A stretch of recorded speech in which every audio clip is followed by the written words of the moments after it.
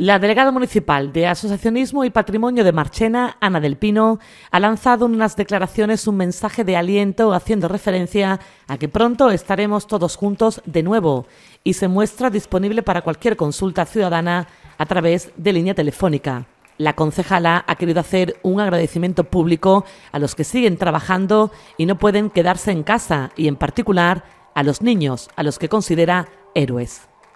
Buenas tardes. En primer lugar, dar mi más sentido pésame a toda aquella familia que han sufrido pérdida debido al COVID-19. Nosotros lo hemos vivido de cerca en el compañero de televisión Marchena, José Antonio Pérez Parra.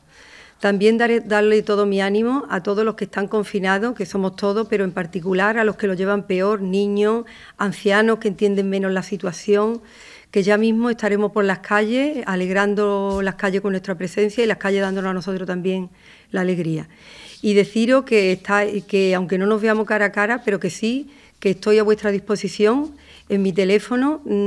602 212 653 y también en el del ayuntamiento como siempre, que nos ponen con, con nosotros de momento. Deciros también que me han llegado muchas preguntas con lo de la subvención que estaba en puerta de ingresar el dinero y sin embargo con esto del la administración que se paró, pues no pudo ser. Ya será en cosa de unos días, lo recibiréis en vuestra, cada uno en vuestra cuenta.